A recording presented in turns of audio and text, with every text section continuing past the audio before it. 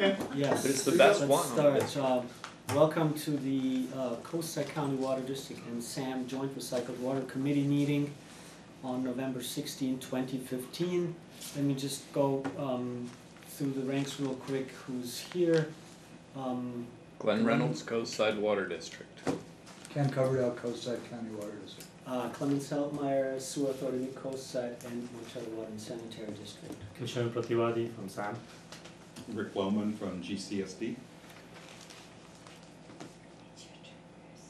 Oh, my turn, I'm sorry. Bruce Russell from Ocean Colony Partners. David Dixon, Coastside County Water District. Mary Rogren, Coastside County Water District. Okay, all right, so, um, first item on the agenda is to take a glance at the minutes of the October nineteen meeting.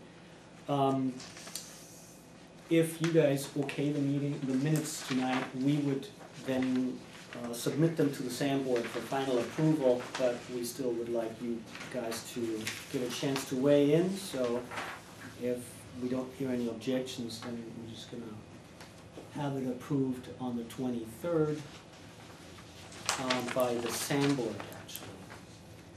So why do they approve our committee meetings, Well, uh, minutes? I mean, it would seem like we would approve them and they would accept them. because it's, it's, it's really, see, SAM Recycled Water Committee meeting is wh- what, what we're titling these. So I, I think the proper process is to have the sewer authority, Mid Coast side approve them. Oh, because I thought we changed the name to the joint committee, the Joint Recycle Water Committee. I, I'm sure I saw that on the Um, last minutes or the last agenda or both. And I prefer it to be named that, I think that's really significant. well, then we have a first suggestion for a change, right? Yes, that's correct. That's what I'm hearing you say. Yeah, and it okay with wasn't. And I wasn't uh, trying to be negative about the SAM approval, I think it's fine for SAM to accept our approved minutes, but I would think by protocol that our joint committee would approve the minutes. Sure, um, I mean, the, the, the minutes have been approved so far, always by the SAM board, they're going up on our website. Um, you know, before we put anything up there under SAM's name, I, I want the SAM board to see this. Um, so we asked for prior approval so far, and I don't think we really change anything in the process. We're, we're definitely gonna put them in the, in the consent agenda and the board, in the SAM board meeting packet, because if it goes up on the website and has Sam's stamp on it, I, I want the board to say that this is okay. Right. Well, I mean, it- by the same protocol, if we were So a joint, Sam, we, well, you wanna t- change the title of the minutes, that's what I hear you say, to CCWD and SAM Joint Joint. Recycled Water Committee meeting, uh, yes. Which is what you have here. That's what we have on the Yes, agenda. yes, what we have on the agenda, you wanna see on the, um, yeah. Yeah, minutes. Yeah, yeah. because I don't think it is the SAM Recycle Water Committee meeting.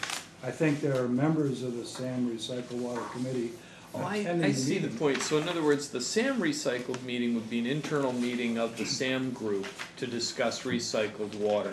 Whereas this is really a different meeting. This is the partnership of Coastside County, SAM, and Ocean Colony Partners. So, yeah, I think it's a good point. I'd go for it. Can you do it? Yeah, we can change the, the title, of course, Perfect, yes, absolutely. okay. That, I think, uh, we're in agreement that the title of the agenda is the correct one, right? Yeah, Yeah. yeah, yeah. Okay, So moved. okay, perfect. And I, I didn't see anything in the minutes that I felt needed to be modified. And It seemed okay to me. So I would move that we approve them.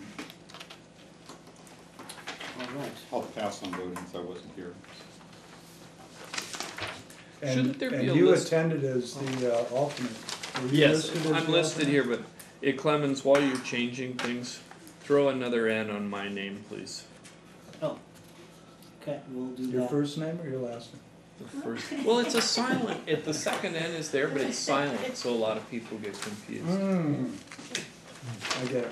Okay, I say, let's move on. Yeah, and uh, I don't know that we need to list that he is the alternate. Because he's not actually our committee representative, only the last word is. Okay, let's put Yeah, alternate. We can put it in. I'm not trying to be neurotic here, it's just that if we're gonna have publicly approved minutes, might as well. Okay. As long as it's just ends and alternates that we're adding, I'm, I have no problems. Well, joints, we're adding joints. That's really important. Alright, let's move on to the new business before this gets out of control. So, yeah, um, I, I think the old business is something that's up here as a standing item, uh, so I don't think we have to go through the principle of agreement again, we've talked about CEQA plenty of times. Um, at the S- SAM status update, I think, I think we're really kind of jumping to the new business because, um, what has happened at the last SAM board meeting was, um, we, we all re- remember at the last meeting here, uh, Dave actually brought a spreadsheet that showed some of the, um, uh, anticipated costs from Coastside County Water District, uh, and, uh, we took some, some effort actually to look at these numbers again. Um, and Kishan, do you, maybe do you wanna throw on the projector, we have it on the screen. Um, But what we showed at the last SAM meeting is that, um,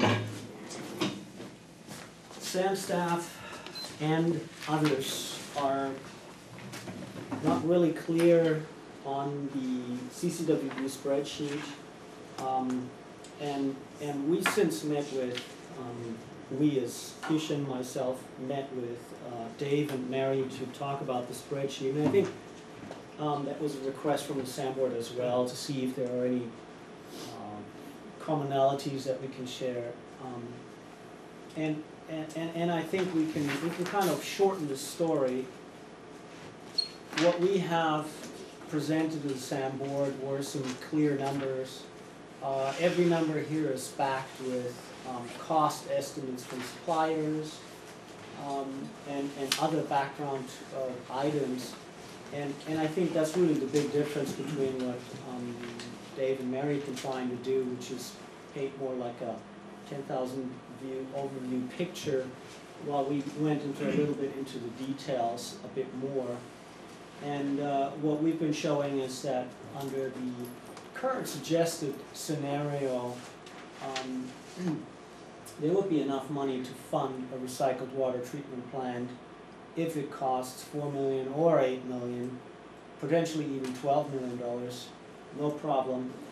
Um, we also show very clearly that the anticipated cost, um, are within the five million dollar range and clearly not within the eight million dollar range. And I wanna repeat this as often as it's necessary in front of the cam- camera to make this clear, that the, um, facilities costs fall very much in line with what was presented by SRT and, and their facilities plan. Um, so, I, I think the, the discussion really, um, i- i- it is, is kind of somewhat mute. I think what I really one more, drive in one more time is that, you know, with OCP paying around half a million dollars per year, of course, plus two, three percent per year on top of that. This project is doable.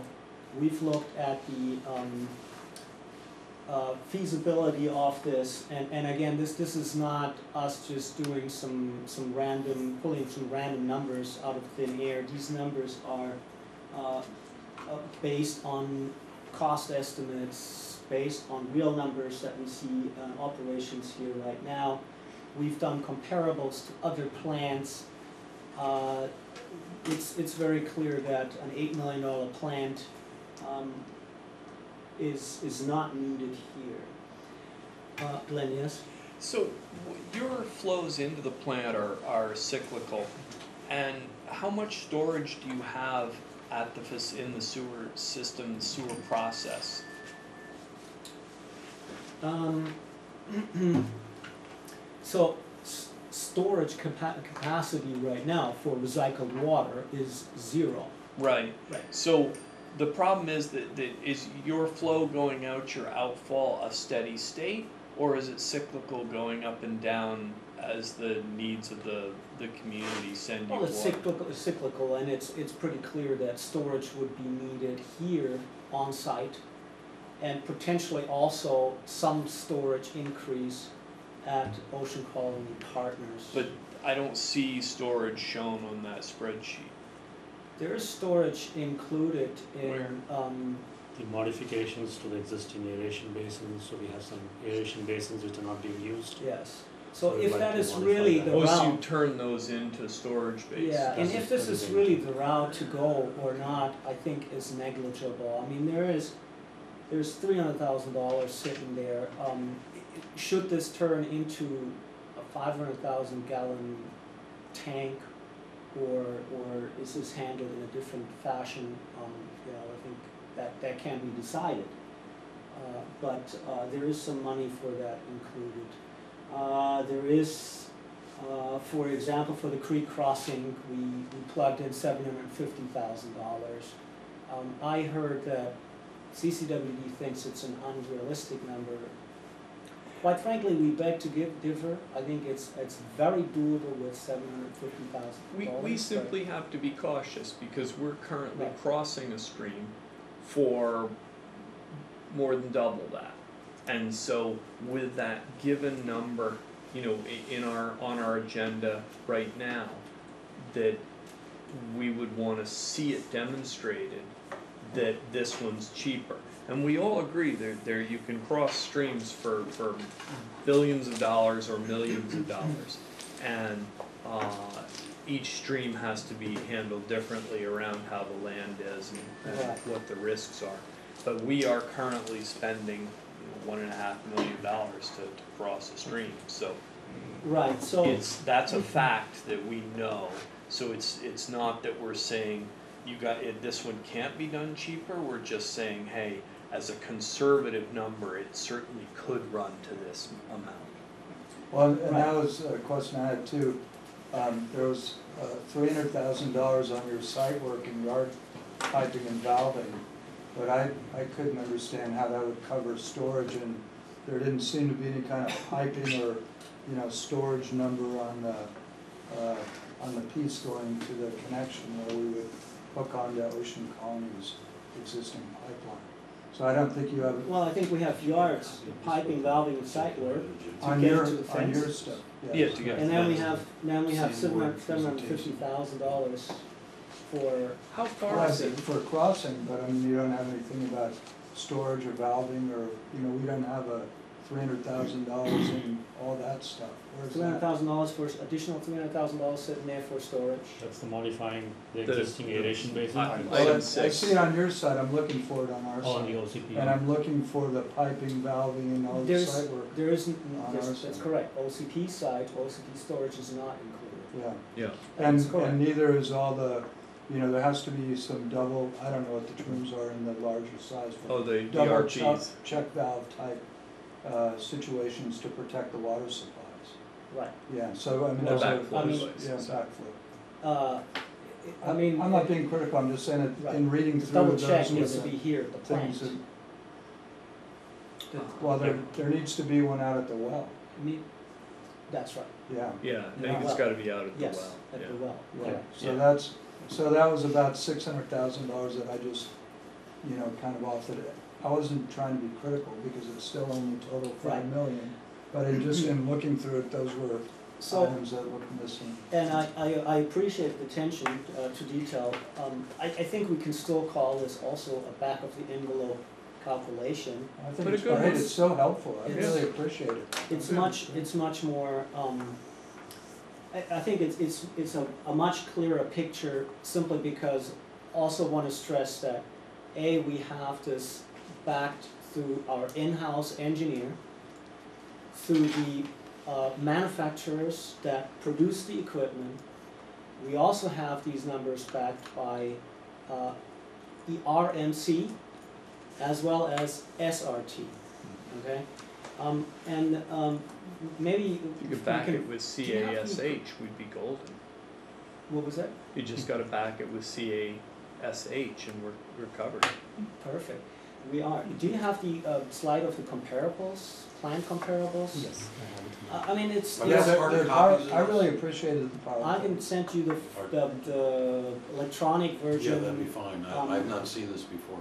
You have not seen this Oh, I'm before. sorry you didn't get it. So Oh, you- and, I and you wanna if see you this want also? any of the, You want me to show you the comparable thing? It's on a different slide. I can, Yeah, well, that's- it's on a different Let's slide. go through this one first, let's finish this one. Okay, then, so, uh, so, I, I think there are some, some of the parameters, and, and I really don't think that we need to walk through this in, in detail. Um, uh, and, and by the way, the, the operating and maintenance costs are very much in line uh, with what, what Mary and Dave presented, so I don't, I don't think there's much discrepancy on, the, on how we look at this.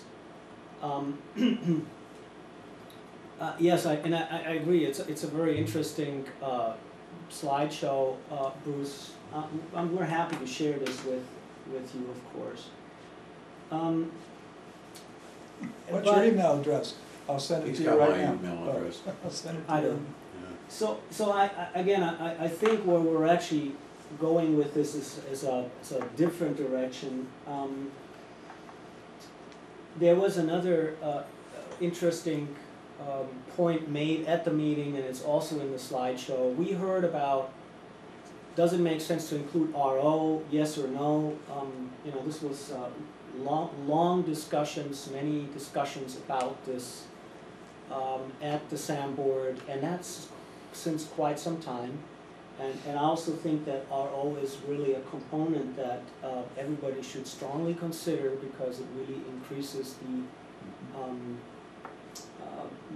potential amount of customers that, uh, one Yeah, could have. But, but you've, got- you've got it included in here, We have it included Yeah. here. so it's good. It's, yes, but um, we still wanted to actually see what, what, what is the big, we wanted to look a little bit behind, what is the story about the high salt loads? um, And they're not particularly high compared to other plants, quite frankly.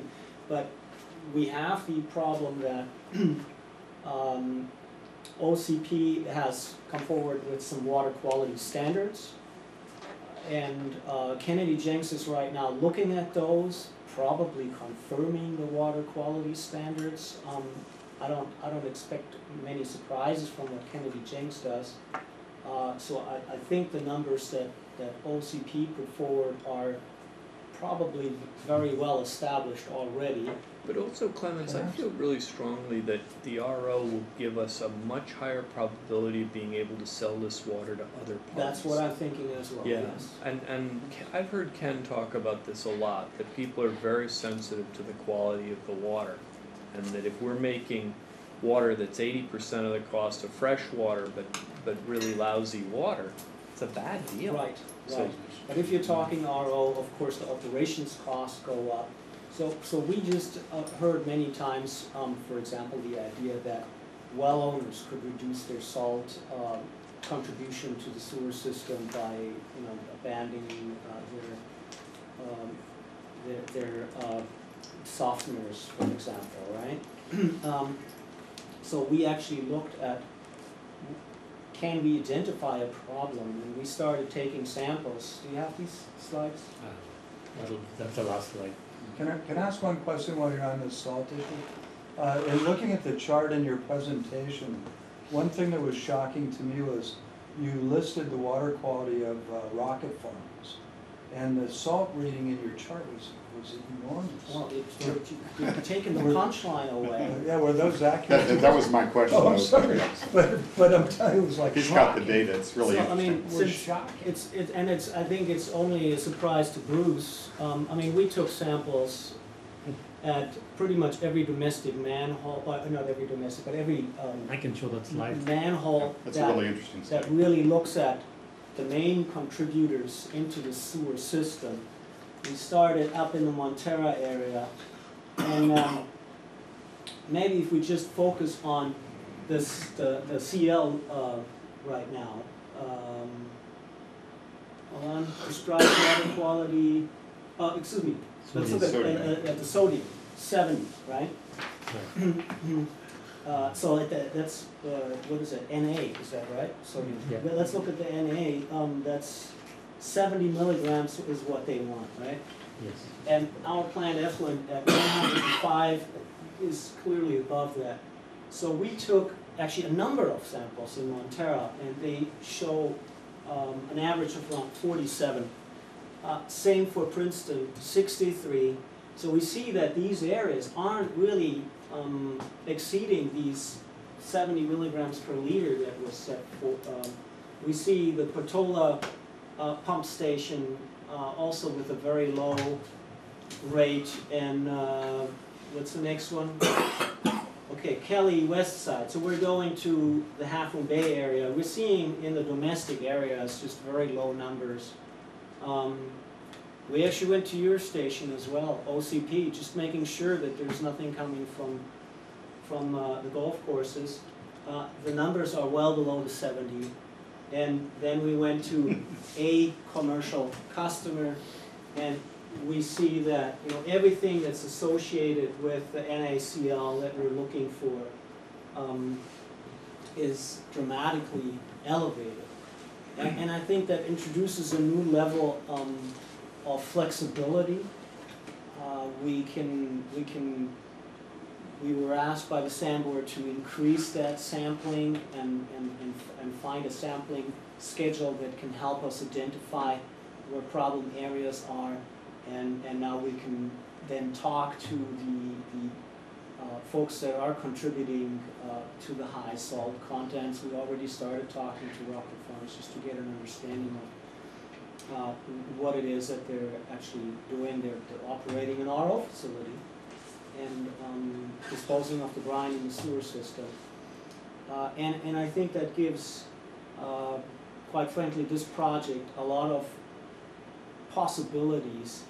Uh, for example, timing the disposal of the brine so that it doesn't end up, you know, in the RO system or in the membranes or, you know, I mean, the high TDS loads are, are gonna plug up the membrane. So I think this is a kind of a start at a look of how can we make the operation cheaper and more efficient. And um, so hopefully everyone will see more results come out of this. So this, I, I, so we presented this as a packet, so to speak, at the last SAM meeting of um, findings that I, I think have to get us away from, uh, quite frankly, the notion of this project is too expensive, that is what we heard in the meetings before.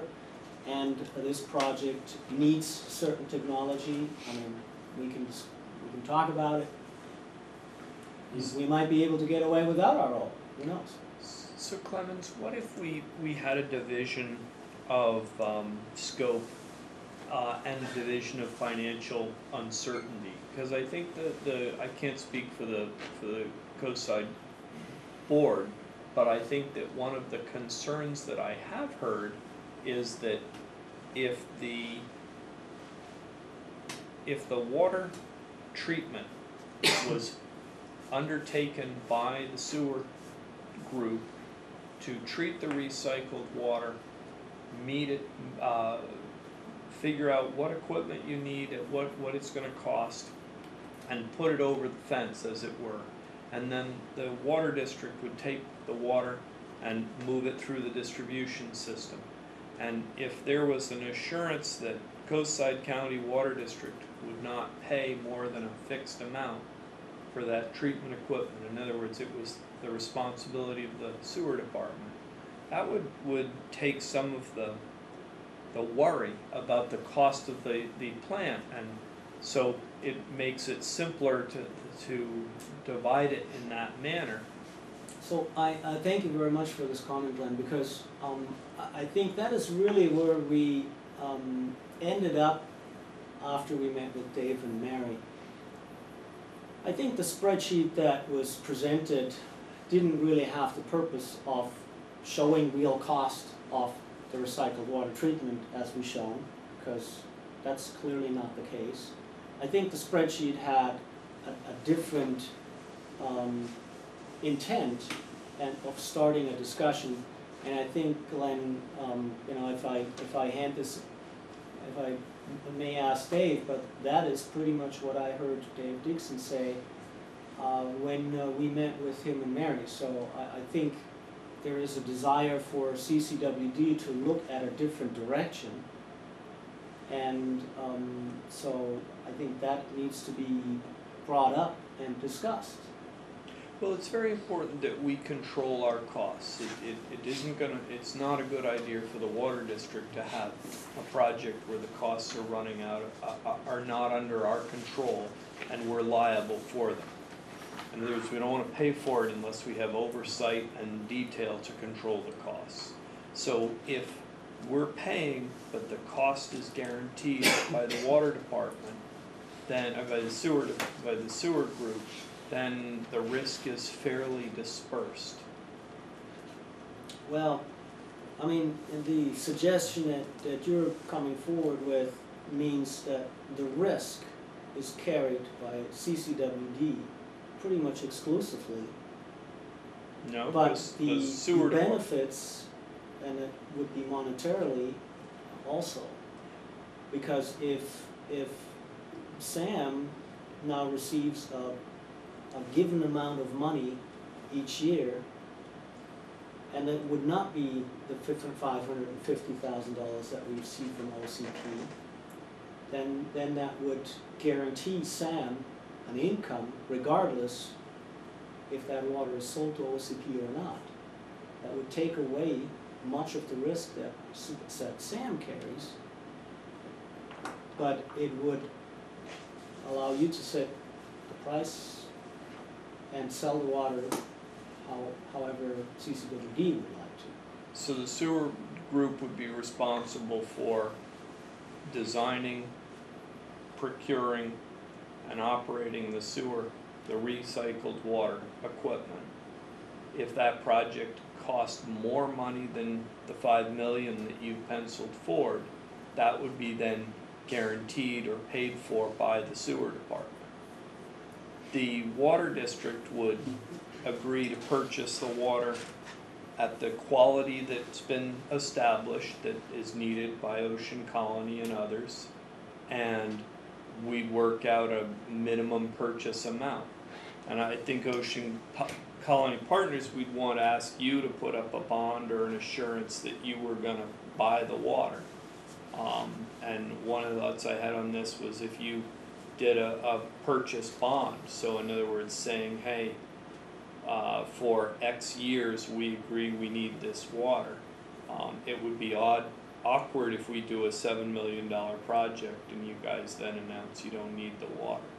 Is that something you could consider? Thirty-year bond on No, I five didn't, no, I hundred didn't, thousand no. I didn't say thirty year. Um, I we told, don't, talked to Dave, I think, I think probably the more viable thing for us would be some kind of letter of credit.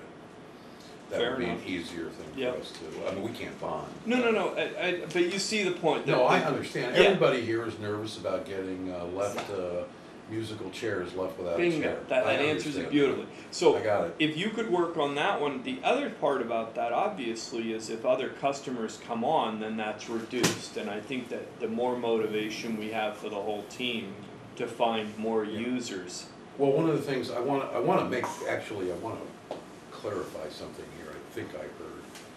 That we pay Sam five hundred and fifty, the number, by the way, was five and a quarter, that was the email sent to Okay, Alan. I'm just trying to jack. That's all right, jack close the enough, I know you're trying to jack me up by It was a bad month for inflation. But, He but was whether saying it's six five, fifty before he got here, you know that. what, six fifty, is that what you were saying? Um, Sorry, I put words in your mouth. uh, I wanna make this really clear, this is not five fifty to Sam, and then whatever the water district charges us is over on top of that. That, that is the total number, and if you read the email I sent to, uh, Alan and to, David, you know, months ago, it was five and a quarter for any recycled water and any necessary potable water to flush the greens. It was a total water cost of five and a quarter. Got A technicality that kind of got lost here in the discussions over the months, but we're still good for the five and a quarter. um, And that's a number that we can live with. I was prepared to come today and to talk to you about some other ways to save some of these costs. Um, and let me just suggest it. Um, we're, we think we can lower our capacity needs. I don't think that's gonna lower the cost, um, because you can produce more water than we need. I mean, that's, the big problem here is that, um, there's only one user, so the user is being asked to pay for the entire cost of the entire process. Um, uh, But we have taken a harder look at, uh, given our recent water practices, which are really uh, drastic. I mean, we are at baseline right now. We can't save any more than the water that we've saved without jeopardizing the golf course. It's visual, What? it's visual. Oh, yeah, you can see it. You should see the recent aerials and the complaints. Um, so, you know, as, as I mentioned we've gone from hundred and thirty-four million gallons down to, we'll break, we're gonna hit eighty-one this year, eighty-one million. Wow. So that's a really big difference. Wow. Um, But we think that our maximum need, although we had suggested eight hundred thousand gallons, uh, we went back and looked at exactly how many days we needed eight hundred thousand gallons. And it's somewhere between fifteen on a normal, normal year. Uh, It's getting warmer, so the days are increasing, but between fifteen and twenty days a year. We could function at about five fifty to five ninety. And on those fifteen to twenty days a year, we could pump our wells to supplement the water. Uh, Our cost to pump the wells are, is really de minimis. I mean, it's, we're gonna have to maintain the wells anyway. What we did was went back and looked at ways that, you know, maybe this would be able to reduce the cost, because when we saw the eight, twelve million dollar numbers, and nine hundred thousand a year, it became pretty apparent to us that that what didn't look like it could happen. I think there was some discussion, and I don't know what the savings is, if the initial equipment is only sufficient to produce, call it five hundred and fifty thousand versus eight hundred thousand, there must be some savings there in terms of the unit being smaller. Um, And I understand these units, whether it's microfiltration or whether it's the addition of RO to the filtration system, these units are expandable. So you can buy them in different increments and just keep kind of adding them on, and the RO is just. The other thing we looked at very carefully is uh, water quality. We took a look at uh, whether we could perhaps function with a higher salt content uh, and a little more chloride. And we did a- an analysis, a ten-year analysis of the quality of our well water, uh, which is a little bit better than the water you produced in two thousand eight from the microfiltration, the microfiltration system, uh, but higher than what our standards are. Uh, We uh, contacted, a- we now have the results from thirty other golf courses that use recycled water. All of them struggle with the same issue, uh, chloride and and salt. Uh, Some of the numbers are off the charts compared to your effluent. Um, And that's why I thought it was interesting, you know, the Rocket Farms analysis. What's really interesting about that, and I think that this is historically correct, that before Rocket Farms owned that facility, when it was Nurserymen's, you did not take their RO brine. And that that is a more recent development uh, in terms of taking that material or allowing them to put it back into the sewer line. There was a prohibition on that, as I recall, at one point. You can check that out, but um, that'll be an interesting thing to find out how that occurred. But putting that aside, we took a look at, could we uh, look at, could we accept water at a lower quality? And we decided that it might be a little risky for us, but we'd be willing to try. And what I mean by that is that we would do a system without RO starting out. Uh, because I understand you can just add the RO. I mean, it's not, there's no big volume discount by buying it initially. And, but we would have an agreement that at some point, if we said to you, we're, we can't live with this water, um, that you would add an RO system, um, and the number would go up, of course, our cost would go up. So our cost would be less, everybody's cost would be less, but we would have the ability to, to, to convert to an RO system if we started running into trouble after three or four or five years. Um, There are things that we have internally reviewed that will help us address the salt content.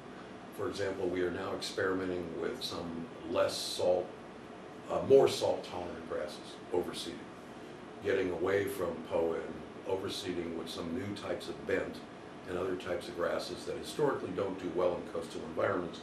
But there are new uh, types of these grasses, and we are now experimenting in three different locations on the golf course to see whether we can maintain that more salt tolerant grass uh, over our, uh, our existing POA. And gradually that grass would, it's, POA is a very invasive grass, so it takes over some of these more salt tolerant grasses. But some of these newer grasses are tougher, they fight against the POA, and they can coexist easier. And we have been doing this for about the last six months, just uh, for another reason, because of a disease that attacks the POA on the coast called nematodes, uh, for which there is no uh, agent now that can fight it. The EPA uh, outlawed the agent that was being used for years. So, and there's other tech, there's uh, wetting agents, there's some other things that we can do in terms of experimenting with the grasses and our, our, our maintenance systems to maybe accept water that has a little more salt and a little more chloride. Um, The second, the related to that is, at some point, uh, we are investigating now the cost of putting our own RO system in. We would take your microfiltration water, comes at our fifteen pole, and we would, that's where our pump houses are. We could, we could conceivably uh, look into our own RO system there. Several golf courses have their RO, their own RO system because the water they receive is uh, acceptable. The salt content is very high compared to even your effluent or our well water. Um, So there's a variety of other things that we looked at to uh, try to figure out whether we could do things that would bring these numbers down. I have no idea what any of this would mean in terms of money. Does it mean fifty thousand, twenty thousand, if it means five thousand, why talk about it, you know, but, but I don't know what quantity reduction means. I don't know what not doing RO starting out with. I think our investigation suggests that if we were to say to you, five years from now, we need an RO system, it won't be, it'll clearly be cheaper than it is now, because that technology is going exactly the opposite direction. I mean, It's like computers, it's getting cheaper every year. The RO systems compared to what they were in two thousand eight are about half of what they were then. Um, And more viable for us maybe to put one on site. Uh, What would you do with the waste from the? That would be, well, we work out the same deal that apparently Rocket Farms worked out with you Pump it folks. back. We'll just put it back in the sewer. Um, uh, we don't know that. We'd have to go off and, you know, talk to Leslie Salt and other kind, we'd have to find some place to put it. Ocean. Um, But, you know, the ocean seems to be a good place to put it. Uh, Santa Cruz, uh, when Santa Cruz did the Pasatiempo program and some of their stuff, that's what their plan was, was to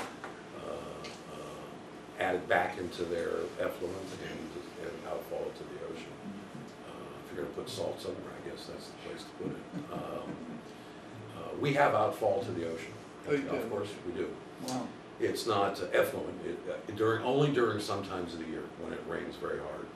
Our creeks, our, uh, uh, retention basins, um, we have to release water to the ocean, uh, in two locations. Um, It's been like that forever, ever, ever since the golf course was built. So, uh, on the other hand, if, if, if putting an RO system, would, would we prefer RO? Yes, I mean, we won't, we know we can live with that water.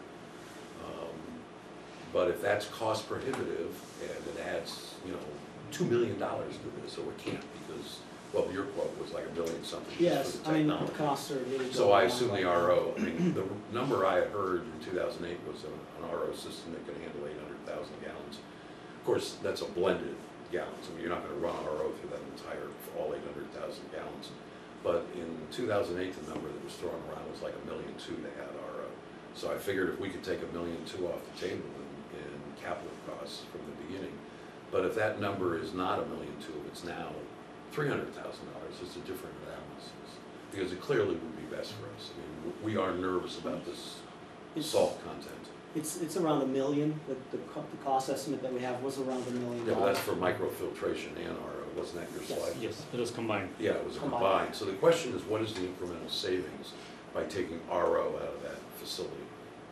That would be the question to ask. And another Yes. question would be is, what does the system look like if its capacity is five hundred and fifty thousand gallons at a maximum capacity versus eight hundred?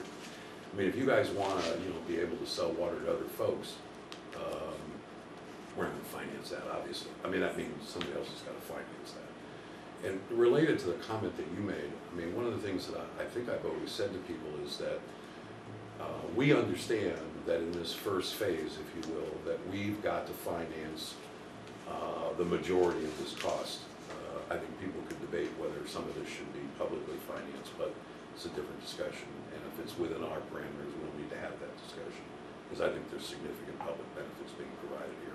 It's not just a private, a project. But if people tap into that, our pipeline to, you know, grab water, you can arrange that. Or you uh, can produce, you know, on days when, like, like for five months a year when we don't need the water, if you're selling that water to somebody else, there's gonna have to be a reduction formula A- in this arrangement. yeah. Because we're not, I mean, I don't think it's fair to ask us to finance No, other and- and people's water that's- supply. And that's common in such Yeah. arrangements that We'd have some formulistic thing that would reduce our cost every year. Yeah, no, conceptually, that, that's, it's a very reasonable thing to do, and, and I, I think everybody in the group agrees that bringing on more parties is a, a good benefit. Yeah. It just hasn't happened. Yeah. But I do think it pushes back to the value of having the RO here, um, and, but you, you had a question? Well, I, in, as part of this, because we've, according to that chart where we showed where the salt was coming from, um, if we're interested in delaying the RO as possible, a second phase purchase, can we run an experiment now? Uh, I think you mentioned, you know, don't give the water to OCP when we're accepting the brine. Can we run some tests, you know, with their brine, clear the system out for a day, and then without the brine, get some new measurements and see if maybe all of a sudden our salt, you know, drops down to some reasonable level with, you know, delaying the RO and all the things you're doing with seeds. Maybe there's a possibility we don't have to buy RO right now. That could be an additional factor in delaying that purchase, keeping the initial cost down just by working the timing with, you know, the rocket farms. I think we're approaching that idea slowly ourselves. Um, what, what's, what, what seems to be clear, um, is that while, while we're seeing elevated levels in Rocket Farms, um, effluent, the amount that is contributed there is, um, not enough to raise the, uh, levels to what we see in the plant effluent here. Yeah. So it's, it's most likely that you know, they're not the only ones that are contributing higher amounts of salt. And, and we're trying to establish where is it actually coming from. Once we have the source, so what I'm trying to get to is the idea is great. Mm-hmm. I don't think we're gonna see much of a reduction if we tell Rocket, or, or not enough of a reduction if we tell Rocket Farms to hold it for a day or two, and, and they can, they have a thirty thousand gallon storage tank, I think, uh, available where they can hold the brine for some time.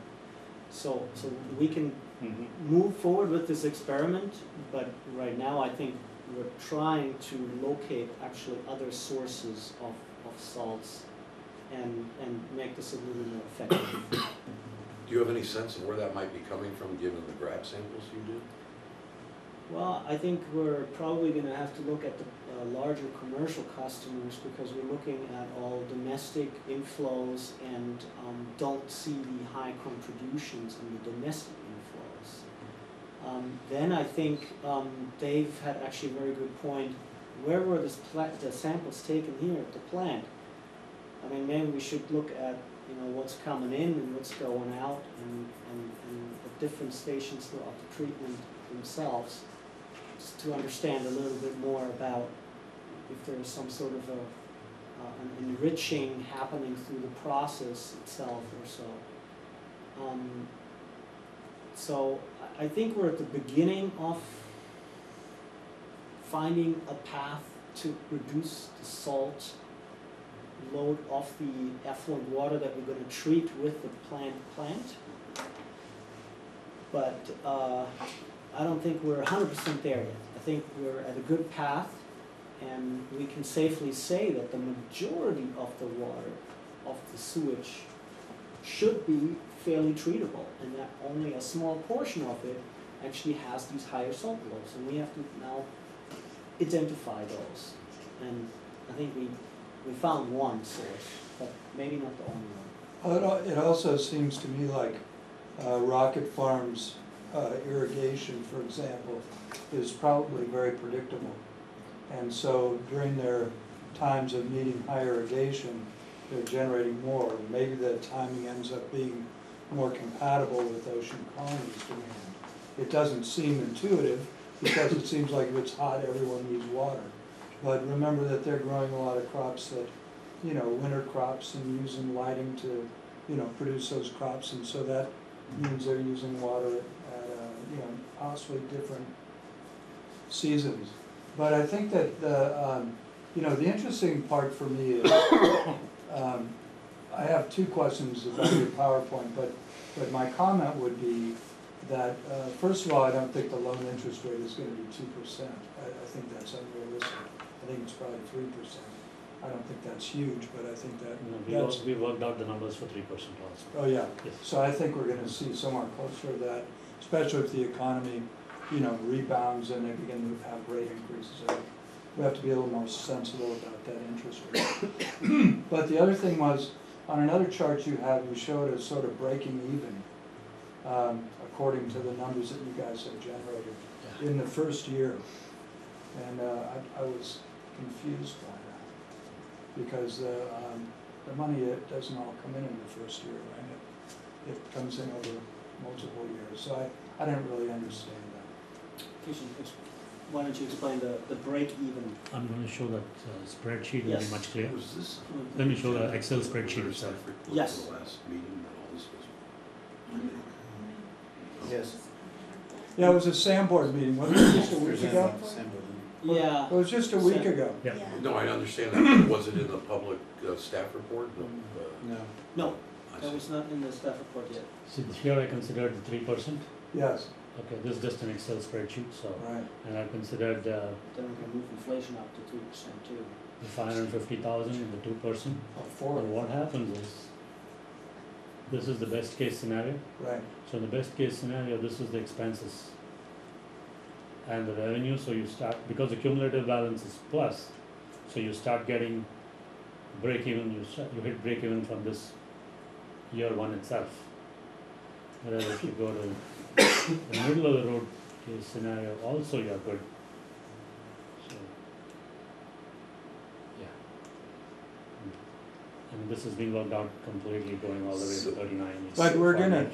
But we're not gonna be spending, uh, in the first year, um, We're getting revenue. in the first year, we're gonna spend five million dollars, right? We're gonna build the plant, aren't we, make all the improvements, build the whole project? We- We're gonna take in five hundred and twenty-five, it's actually not five fifty. This is just looking at debt service, Yeah. financing of debt I service. can change this to, Yeah, I understand, yeah, I can change this to five twenty-five. Well, yes. that's, I'm noticing that. Yeah. Yeah. Yeah, we won't build I don't think I'll have to worry about that. Give you. I appreciate Yeah, I it. understand about the debt financing. I Correct. get it. You? We can't really charge you. So you're- Sorry. So you'll have a cumulative balance which is less, it's five twenty-five thousand. I hate to see these Yes. things. You get it? Yeah, this one's not. Thank you. This is his. So this we've done for two percent, I've done for three percent also, we've done various things. That's how we're at at that. And uh, so I think that my comment, or what I was working up to is, I think that what we really need to do is write a contract about who's paying for what, when and where, on what kind of a timeline, and who's responsible for what, when and where. And then make a formal agreement. Uh, Find out about the letter of credit that we're gonna get as a security for the, you know, continued purchase of the, of the uh, water. Give us some time then, I mean, if, if essentially you know, from my perspective, if you guys think you can go to the creek and, you know, set up a, the system over there by the wells for a million dollars, uh, you know, my inclination is to say, great. You know, we'll go over there and have somebody turn it on and off and, you know, figure out what the price is and sell to Ocean Colony Partners. Because I don't think it can be done. I'm not being negative about that, because I hope it can be. I hope, I, I wish it could be done for hundred and fifty thousand dollars. I mean, uh, you know, there's a big argument about this creek we're crossing, you know, anyway. But, uh, my strong feeling is that, you know, that's what makes sense to me. You seem to have a really good handle and, I looked at your success rate, you know, the projects you guys have built, uh, MWSE, and, uh, you know, the projects I've seen, everything came in under budget, and, you know, engineering fee was eight to ten percent. It looks to me like you guys do a marvelous job. So I, I'm happy with letting you do a marvelous job. I think we ought to put that in writing, and we'll do a marvelous job of making sure the pipes are operative and the valves are operative, and we, you know, bring the right people, and we provide the other part of the water that Bruce is gonna need out there at the golf course, and it's hallelujah time. And if it can be scheduled in, you know, slowly, I'm only speaking for myself, but if it can be scheduled in slowly, uh, adding additional water treatment, or, you know, looking for other customers, or coming up with grant funding or something like that, I think that's exciting as can be, I think. you Or know. expanding capacity. Yeah, pedal to the metal, and, you know, my strong feeling is, uh, I think that there's a lot of talk about El Nino, and I really wanna believe it, you know, but I've been around for four years listening to all the talk about the winter rains are coming, and, you know, uh, last year at Kirkwood, it was brown at the top of the mountain, you know, at the end of May.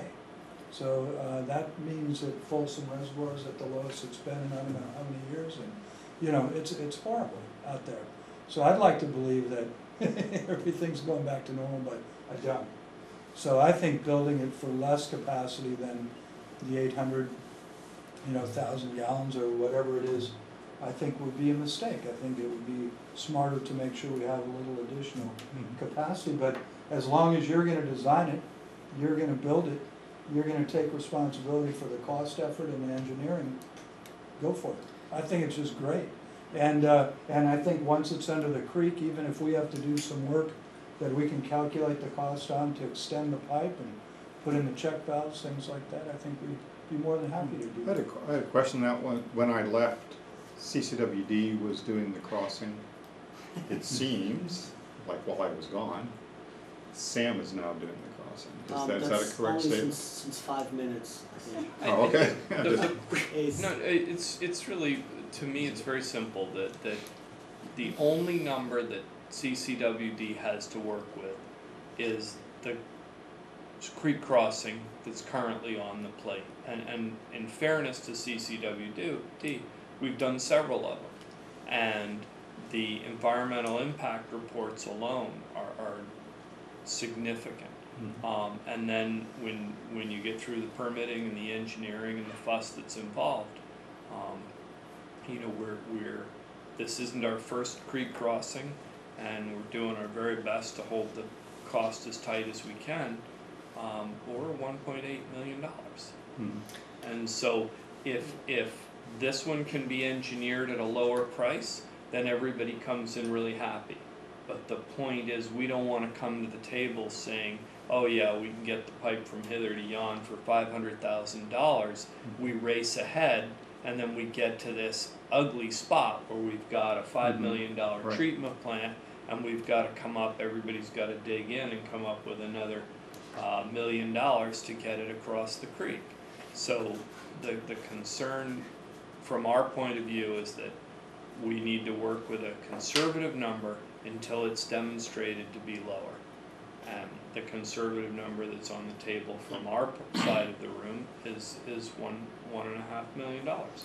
Well, The, let the, me- the, the let- question I had was, wasn't the cost, which we really need to nail down, but, uh, who was doing it? Yeah. So I Uh, let me, let me just interject here real quick, and, and the purpose of the spreadsheet is, again, I called it also a back of the envelope calculation. Yep. So if the cost of the creek crossing now goes up to you know, a million and a half, the spreadsheet essentially shows that we still can finance the project. It's a back of the envelope calculation that now has numbers in the background, right? Every number that you see here ha- is backed by something, which doesn't mean that they're gonna come back the same way or that this is Yeah. hundred percent correct. But it's better than to say, we work with conservative numbers and it's eight million dollars and we don't know where the eight million dollars is coming from besides that, you know, other projects overshot as well. So assuming what we wanna show is that we know we can build the plant cheaper than eight million dollars. And eight million dollars is not a conservative number, it's not a realistic number. Now, to the creek crossing, of course, you're comparing creek crossing in the center of Half Moon Bay with one out here, so there are, um, challenges that you're gonna run into, um, in Half Moon Bay that aren't necessarily given out here. It Can also be the other way around, but, you know, we, um, look at what other creek crossings cost, and we don't see them in the two million dollar range. We know they're expensive. Yeah. So, No, we, we agree, we just wanna make sure that the numbers end up being less than what we budget for. yes, Oh, you, you know, I, I don't think that I've taken the opportunity to thank you for the, uh, cost estimation that you guys did, I really appreciate it. I mean, I'm glad to see the numbers and, and, uh, I, I don't really believe either set of numbers. I think that both of them have, uh, issues and, and things to discuss. The, the thing that goes on in our board of directors, or what we talk about is, um, I think that the two biggest issues are the liability of the ongoing relationship in terms of a customer. If all of a sudden we're in the middle of this project and we lose a customer, it, it really is an issue. I mean, it's a huge issue, because it's a single customer condition. So we have to really feel confident about it. And I think the second, and we're, co- you know, we. We, we can do that. I mean, this can be, you know, the obligations here can be recorded against the property. Uh, David talked to me about deeds of trust, I, I don't know about that, but, uh, you know, a letter of credit that would cover five years of operations or something like that from, you know, a major bank. Yeah. I mean, you- you know, I mean, the golf course is owned by two enormous pension funds. They're not signing guarantees because they, they're Taft-Hartley entities, they can't do that. But, I mean, Ocean Colony owns a lot of assets. I mean, that golf course is mm-hmm. worth hundred million dollars. I mean, they own a bunch of other stuff. I mean, so I, you will feel comfortable, we will get through that issue. Perfect, As, thank as you. long as the water's delivered and it's the right quality and it's on time and there's not a zillion interruptions, you won't hear from us. Right. I mean, And I think, I- and I appreciate that, and I think we can work through that too. I think there can be a, a document drafted that we can all sleep with. yeah. But we answer to a lot of constituents and, and, you know, I wanna be able to tell them, we don't have you at risk here. We've got you in a really good deal and you ought to feel good about it, you know, excited about it. Cause I'm in favor of it from an environmental perspective, Yeah. so, and I wish you could take more water, you know? So, I mean, I'd love to see more of it go through the golf course. But the second issue for us is just making sure that we are on, if we're gonna be liable or responsible also for construction or design costs, we wanna be confident that we won't have a cost overrun. That's what we're concerned about, also. And, and I'd like to echo that concern. Yeah, Uh, cause I don't You know, wanna I go commit- ask him, I keep hearing him say Yeah. no, you know? I mean, I commit to X number of dollars, and you come back to me and say, sorry, we're halfway through this, it's now an extra two fifty a year. Yes. I'm not, it's not gonna be a pleasant conversation. No, and that's part of the reason why we've been, you know, um, conservative in looking at the numbers. We're not, you, you Right. use the term unrealistic, I think that's fine. well, Um, But, but unrealistic isn't really fair because we haven't gotten to the point of being able to be realistic. There needs to be engineering done, so the question is, who takes accountability and liability for the engineering? So, you know, there's another step in the process that I think we need to come up with a contract that says who's responsible. So if you're willing to take on the responsibility, for example, for the design of the project and a guarantee that it's gonna meet that budget, then we have something to talk about. But if you're gonna take the responsibility for the design and we're gonna get the bill, I don't feel like our customers have control in that situation, we're kind of at risk. So those are terms that I think really have to be hammered out in the form of a contract of who does what, when and where, and what does it mean if it doesn't work out? Who's on the hook for that? So if Bruce isn't gonna be on the hook, cause he's making it really clear he doesn't wanna be, I'm making it clear that my constituents don't wanna be. I'm sure that your customers or constituents don't wanna be. But somebody's gotta be. And so those are the issues for us that I think just have to be hammered out in writing. And I think when that happens, it'll be really easy for everyone to agree that, okay, I'm responsible for this portion of it, you're responsible for this portion of it, and I'm willing to pay for this amount of the responsibility, this amount of the risk. You know, we've had the discussion about CEQA. Who goes for the CEQA permit? Well, it should be fairly easy on your site for your portion. But I also don't wanna be the one that's stuck behind CEQA, which I agree with CEQA, you know, in terms of timing and, and production, only to find out that you're already ready to pump water and, you know, we, we can't get a pipe in the ground, right? Because I also don't wanna look like an idiot, you know, authorizing you to spend however much money you're gonna spend and not be able to do my portion of the job. So I think that that's the reason why we have this thing that says principles of agreement. I think that in the principles of agreement, we talk about hammering out with lawyers, or, you know, and that's how it's gonna end up. The real hard knock terms of how the steps go and who's paying for what and when and, and what is the, uh, responsibility of each party. Because I really don't want, I don't think your engineering firm, whoever you select, is gonna try to do a disservice to anyone, but you know how engineering goes, you know, somebody gets out there and they begin to look at it more carefully and, oh gosh, we forgot this and we hadn't really considered this and, and lo and behold, it becomes very complicated. You know, we were gonna go under Pilarcitos and the first thing was, we're just gonna bore and we're gonna jack underneath it, and the cost of that was like, I don't, was it three million bucks? You know, and it was, it was gonna be so easy and we had all the right players and it was a great, you know, contracting environment. Well, that was a total deal breaker, no way, right? So you gotta, all that engineering got scrapped to go back to look for another approach to bring the cost in where it was affordable and reasonable to go. So I mean, uh, how soon can we start this, the three lawyers or whoever gonna be involved? I, I think it ought to start immediately. I immediately. mean, can we get that going? 'Cause that seems to be the, that shell needs to be, even if it doesn't have all the final numbers in it. If we can get the agreement written, and then we know we need four numbers have to be plugged in here, and then everybody agrees if those four numbers are below X, we're good. If they aren't, we're not good. That's But if we could get all the agreement kind of written up and then find out, you know, we need these four numbers, or we can go after the four numbers. You know what I, I think would be really a good idea, um, coming from a legal standpoint, uh, is for one of the agency's lawyers to take the lead in preparing an outline of the twenty bullet points that they see this agreement needs to cover between you two and between you and us Right. Instead of sitting down and starting to try to draft agreements. Um, uh, you know, as, I mean, I've practiced law a long time. When people come to lawyers with many of the issues resolved or already hammered out, the process is a lot cheaper and a lot quicker. Yes. When you sit down with the first time with three sets of lawyers and no one's ever talked about any of the terms, oh, it's just, it goes on and on, it's very protracted. And so, you know, like if your, if your lawyers drafted, uh, an outline of what the major terms they think are gonna be necessary in our agreement, not, not necessarily your position, but the topic that we have to talk about, or if you wanna disclose your position, that'd be okay too. Then we, I can look at it, talk to our lawyers and say, okay, you know, I mean, do we see anything else that we need there from our protection?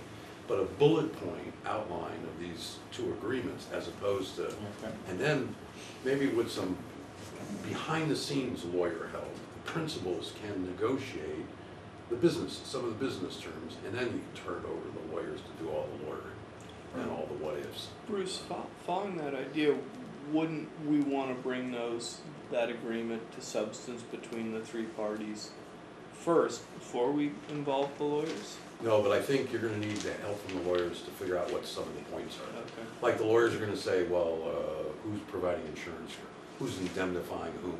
There's gonna be lawyer bu- business points that are, that, they're not just legal points, they're not words, they're, they're substantive issues. And I think talking to your respective lawyers, you'll say to them, you know, we're thinking about doing this deal. Uh, maybe your lawyers have five agreements between sewer districts and water districts from other Yeah. places. That's always a place to start. We have twenty agreements between water districts and golf courses. We've already collected them, you know, in two thousand eight, we started collecting them. Some are short, some are, you know, hundred and fifty pages. And, you know, we'll look at those and say, oh, we don't care about that, we don't, you know, I mean, that process, I think the faster an outline of those agreements can be prepared and shared, then the quicker we can talk about some of these things, because there might be an issue that none of us ever thought about.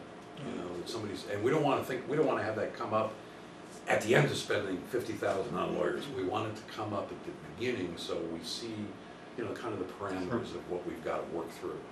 It sounds like a really good idea to, to poll. An outline. or, Yeah, poll the lawyers and ask them what other agreements they You- work I mean, with. I mean, you, you can send me your lawyer's outline, that's Yeah. fine with me, I don't care. Okay. I mean, Well, we're, we're big boys, really we can happy look at the asking outline. Pat for what other copies he, you know, what Yeah. other agreements they have, uh, for Purple Pipe and recycling And maybe water. SAM can prepare the outline for your agreement with them, Yeah. and you prepare the one with us, and then we can, you Yeah. know, start looking. Bruce, did you by any chance have, on all those agreements, do you have one that you think is? I haven't, it's is- been since two thousand Oh, eight, but if you had like a pretty good one that you're sort of. with the it's- water district. Yeah, if it's big enough. I, I didn't read them big, enough, frankly, to decide which one was the right one. I looked and saw that some of them were really complex and some of them were really kind of infantile, actually, Mm-hmm. five, six pages, and I thought, well, that's not gonna work. But, but I didn't look at, look at them from the standpoint of did I pick a favorite? I just kind of, and I turned the pages in two thousand eight because I thought we were gonna make more progress then, to see what the big ticket issues were, other than money and quality and quantity. There were other issues that I had, you know, I could see in the agreements. Um, But no, I didn't pick one that I thought Okay. was good. Oh, uh, but I didn't go through that from that standpoint. I think it's a good suggestion. Do you have any suggestions, Dave? No, I think it's, I I think that's a good place to start, making, just like we did with the guiding principles. You know, And there's, there are really two agreements that Yeah. have to, that have to go forward in parallel between CCWD and Ocean Colony and then between SAM and CCWD. I thi- I think that if we can hammer out the agreement, SAM doesn't have. we one have, right now. you know, some good parameters of what we think it's gonna cost. We have some interesting concepts about our customer. And so I think we can really, um, you know, look very carefully at how can we go forward. And I, because I think without an agreement, you know, we can kind of hash it all out, talk about it and all that stuff, but we need a, a firm, firm way to start. Who's gonna write a check? When? And how much, you know, and, and, uh, can we agree on that? And I think that if we do, then we got a deal, we can really start to go forward.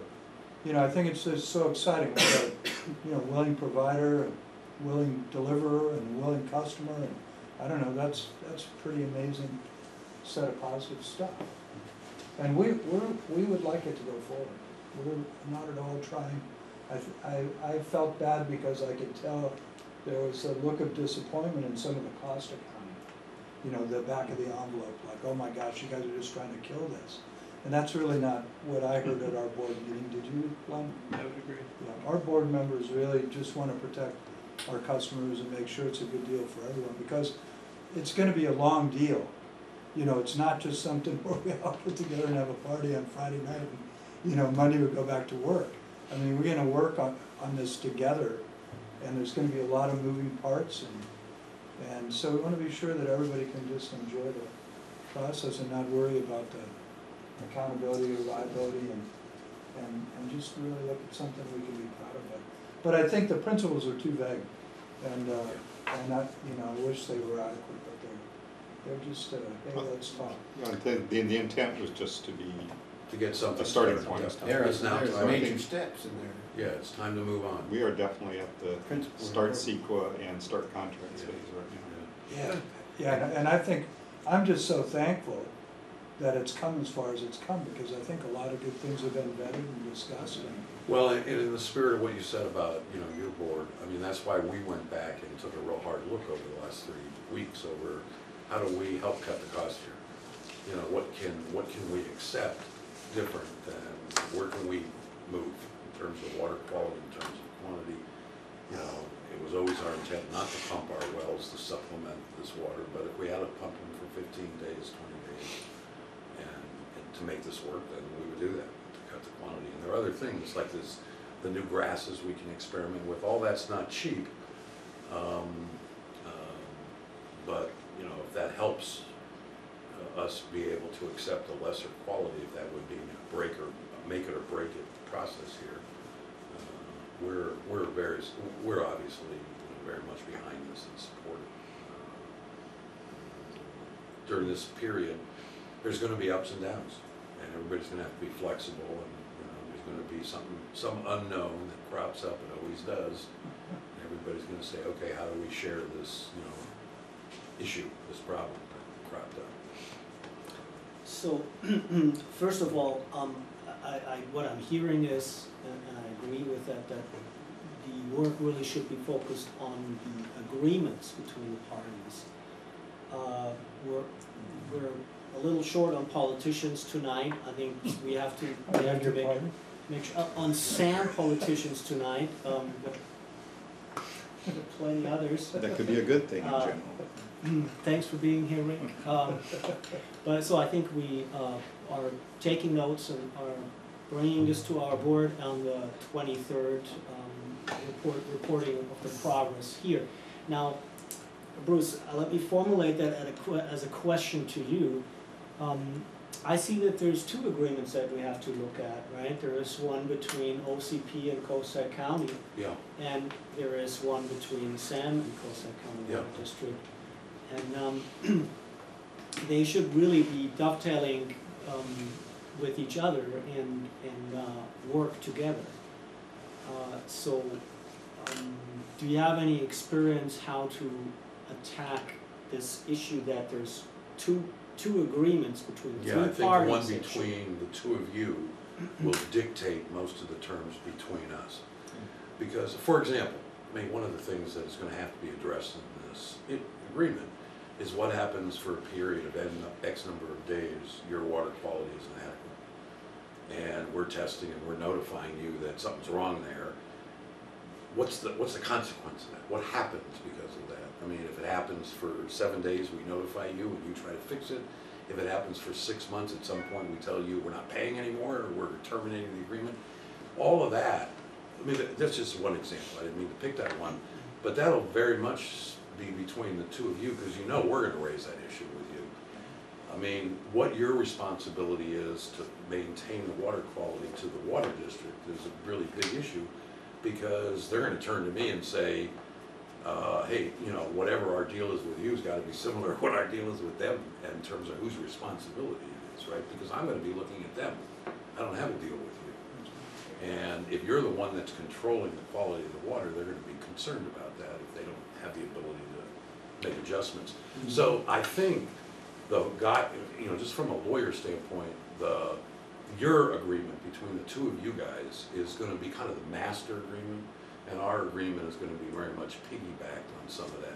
Doesn't mean it can't go on at the same time. I mean, I think when your lawyers are talking to each other about an outline, maybe the water district's lawyer can be thinking about an outline to send to me. Bruce, following on, on that, Clemens, I think maybe a way to, to answer this question without trying to bite the whole agreement out in one, one whack is, Bruce, if you prepare a, a, a two or three page bullets of what is important and what's not so important to you. Yeah. So in other words, for instance, if we're assuming, uh, if, if, if we're assuming that you use three hundred gallons per minute in your system, and that's what we're designing our flow for, but in fact, you could, you want it at a steady, small state of flow all day, or you have the ability to store it, and, mm-hmm. in other words, that would push back to us as to where the storage needed to be in the system, if any, water quality and how, how, and another one is how long can you go without water? Mm-hmm. So that would be a critical thing for this team to know is, and it would be critical for Coastside County in terms of the distribution system. In other words, you know, how fast does it have to be repaired? And, and I bring this up because in the water district, we usually have a gridded system where we can move water around. Here, it's a single pipe. Obviously, we can supplement with fresh water, but there's a cost. So if you made a list of things that are important and not so important, but, but all the items you can think of, the water districts makes a similar list of things that, for instance, we're very accountable towards the backflow and public health. We, it's quite likely, will be required to do a shutdown test every four years, where we have to prove to the uh, state that this water cannot go to another pipe system. The only way right now on the state code is a shutdown test. So that's something that will be, you know, I would think that we would have on our bullet list. Then Clemens, for you, it's going to be very much a case of what are the criterias here at the plant? Um, and what are some of the issues in terms of water quality coming in, you know, uh, and so I think that if each of us brings those, that list then to the table and we put that out, it will allow us to start forming the contract so that not only we understand what's important to each player, it will allow us to shape our agreements, understanding what's high value and low value to each of the players. Does that make sense? Yeah, it does. I, I can do that. There are some things that I don't know the answer to. I, I agree. Like how your, how we shut off your water and turn on my well water. Yep. I, I'm not an engineer. I don't know how that, those air valves or check valves or whatever. So that's a work. great question to I don't ask. understand that. I mean, That's some a, that's a engineers are gonna great have to deal question with to that. ask, and Clemens, you, you, you know, that, I'm sure there are gonna be operational questions here at this facility. Um, you know, I'll, I'll throw out some simple ones, I assume that you have standby power here, does it accommodate the new equipment? Um, so if it doesn't, then what does that, that might mean in the case of a power outage, that you're unable to make purple water? Um, so these are some of the things I think we should start outlining, and then the group can kind of, we can work as a team to sort of say, I think okay, that's a really good idea. okay. That'll force us to be a little bit more uh, specific in terms Yeah. of. Yes. It's Yeah. gonna force us to think through more things. Well, here. and, and I'm hoping it'll be a bit collaborative, so that if we see a problem, you know, that somebody's missed, we might ask it, like, so you might not have thought of the power thing, but I've just mentioned it, so that will allow us to sort of collaboratively work to make sure that all, all three parties are thinking about the issues and we can then move forward. So there's the homework assignment. We never thought about secondary electricity at our pumps until we had some vandalism. Ouch. And the electrical locked uh, facility was broken into and all the copper was stolen and everything else. Wow. And we couldn't pump the wells for, you know, until we could replace it all. And had never even thought about what would happen if something, we knew it could go down, a breaker could break, but we never thought about somebody committing vandalism and stealing everything. Yeah, unfortunately, the copper prices are plummeting, so That's good. Yeah. we won't have to worry for a while. We had some copper uh, taken from our uh, construction site, Oh, yeah, it This was weekend. wild. This It was This good, weekend? just this last weekend. Wow, Yeah, uh, the- We have, it's not happened before huh, at the construction. site. sorry to hear that. yeah, it's crazy. Well, the, the thing that I think is exciting is, um, you know, to finally get down to the brass tacks. You know, Yeah. figure out what the real Yeah. terms are of the agreements, and, and then I think everyone can feel protected and, and move forward. You know, and, uh, I think it's amazing that you guys included in the PowerPoint your ability to make effluent water look just like a waterfall in, is that, is that This is an Himalayas? actual picture of the plant. Nice. So that's the aeration. That's the aeration. See, that's why you don't need RO. And then I know. the that's it. rhododendron on the side actually helps to, helps to uh, change the chemistry somewhat. so. Field trip. Perfect. Can you Clemens? send me the packet? Yes, Is that available? I'll send it. Yes. Yeah, I really, you have my, uh, email. Make sure you Yes. send in the screensaver also. Yeah. I So want that Clemens, how picture. That long do we have to get our homework done? Where is it? All Is that the um, Himalayas? So I hear we're moving on to the last point of the agenda, everybody seems to be anxious. Um, when are we, when are we meeting next? Uh, how's December looking for you folks? I have a red Just, uh, Christmas sweater already picked out. December Without works. snowflakes. Just a, a rhetoric question. Um, I'm, I'm gonna suggest, uh, an early January date, uh, when everybody's still relaxed. And, um, So you're skipping, uh, December, is that correct? I, I'm, I don't think it's gonna be much, uh, Sewer Authority has a new manager starting on December seventh, sewer, ma- and a yes, new attorney yet to be selected. Oh, wow. yet to be selected. So you don't have an attorney. The twenty-third is Jim Copeland's last Last meeting. day. December thirty-one. Well, let's see, how about, So it'll probably take a little bit of time for those folks to get up to speed. January eleventh or twenty-fifth. yeah, how about the eleventh? Eleventh is good with me. I may not be on, the- I may not be here, but, Oh, we're gonna make sure you're there. okay. Yeah, you- I'm good for it. You're a good guy. Yeah, fine with me. Well, he knows about water, he's. What was the date? Oh, The that's- 11th, That's is- going Wanna do back, that? whoop- whoops, that's- January At the 11th. same time? No wonder that looks stupid. I can't do it on the eleventh. Okay. Are you, fo- eh, oh, I'm sorry. You wanna go to I'm Monday? the wrong month. Oh, I take it back. I did the same things. Uh, yeah, Looks good to me, I mean, from my sense. I need a dental appointment. So, uh, January eleventh at seven P M. yep.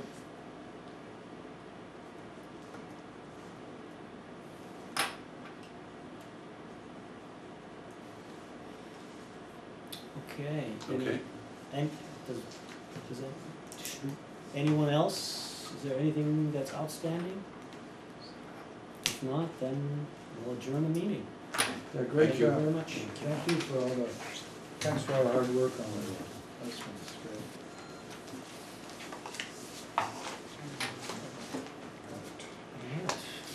Cool. So,